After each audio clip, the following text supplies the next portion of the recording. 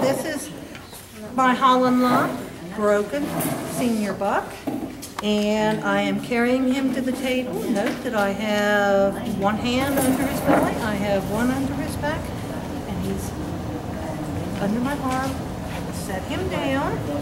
We're gonna pose him. This is a Holland Lop. He poses up where some of the others pose down. And the first thing I want to say is, right, he poses up.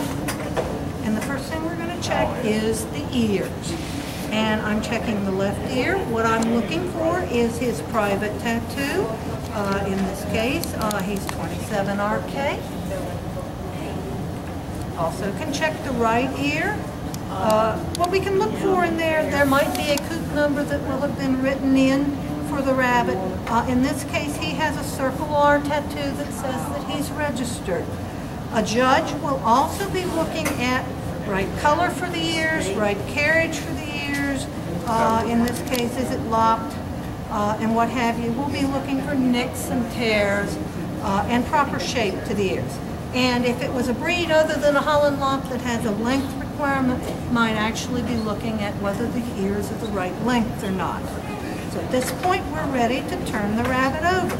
And for this rabbit, I will grasp the rabbit my fingers between the two ears. And I'll turn him over. And the judge will be looking at how you turn the rabbit over. And the first thing I look for with my rabbit turned over is the eyes. In this case, he's a uh, black tortoise Holland uh, broken, so I'm looking to see if he has brown eyes or not. Also looking to see if he has any discharge around the eyes uh, that might be a sign of pink eye or conjunctivitis. I'm looking inside each eye to see if there are any spots that might be a sign of walleye or moon eye or cataracts. Moving down the rabbit's head, we go to the nose. I'm looking to see if there's a sign of a discharge or not that might be a sign of snuffles uh, or other respiratory infections. Moving down, for proper bite. You'll notice on this rabbit that he has his top teeth over the bottom as opposed to opposing one another, which would be uh, but, which would be um, butting uh, or simple malocclusion. If his bottom teeth had been out over the top, that would be malocclusion and it would be highly undesirable. We've the teeth. Then moving down the rabbit's body, I come next to the front legs. I'm checking the straightness of the legs, and then I'll move to the paw. And notice I put my finger inside of the paw. That should move the toes apart so that I can see that this rabbit has four regular toenails and a dew claw. They've been trimmed. The colors match. With a broken rabbit, it's not so critical because you're probably going to see white toenails. But if it's a colored rabbit, another colored rabbit, you would look to see if the, all the colors match or not and are the proper color for the breed. We move over to the other side, repeat the process. This rabbit has four toenails, all there, and a claw. Then I move down the rabbit's belly. I'm feeling to see if there are lumps or bumps or abscesses, uh, inflammation of the mammary glands, if it had been a doe, this is a buck. If it's a colored rabbit, you could blow. That would give you an idea if the rabbit's under color or not. And then I'll move down a little farther, and we can look for straightness of the rear leg. Push there here at the um, joint uh, above the hock, and that would show. Then you can go on into the paw and look for, again, four toenails properly matched and trimmed. Repeat the process on the other side. Look in here, toenail, finger within the paw. We're looking for four properly matched toenails of the right color. Also checking to see if they're trimmed. Then we'd like to move to the genitals. I didn't mention, but Oh, yeah, there we go. Yep, he's a buck. And I would also be checking for the two testicles. Yeah, he's down the rabbit to his tail. It is there. It is the right color. it is straight.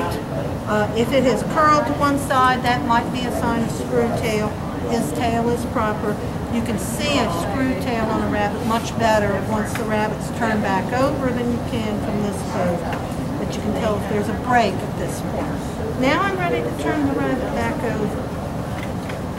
And pose him. Not pose perfectly. First thing I want to check is this rabbit's fur. And if it'd been another breed, it might have been wool. Stroke downward, and I stroke back up. I'm looking for rollback fur in this particular breed. Show my hand. That's an indication as to whether there is a clean hand or whether it's got fur on it. Uh, in this case, the hand is clean. That's a sign that the coat is not slipping. Okay. Um, this rabbit is not in perfect condition, so he does not have a prime line, but you want to look to see if there's a prime line. If the rabbit had it, it would look like there's a line of fur down the side, and that would be a desirable thing on a normal coated rabbit. Next, we're ready to show the different poses in the rabbit that'll show the rabbit's tight and strong and weak points. I have him in a side pose. He's a Holland posed up. He's not going to stay that way without me working with him. Front pose. And you can look at correctness of feet and legs. Rear pose. I'm looking to see with each of these poses if he's got the right contour and shape to the body. In this case, this, this rabbit has a fairly decent hind quarter. He's not undercut. He does have some um, meat and fur showing back here that's desirable. Uh, in terms of, and I'm going to take him back to a side pose where I'd be looking for his rise and what have you. Uh, strengths of this rabbit, he has a bold head. Uh, I would criticize him for his crown being a little bit slipped, for not maybe having as much thought, uh, fullness in the upper midsection as I'd like. Yeah. Talking about so at this point, I think I'm ready to answer any questions you may have.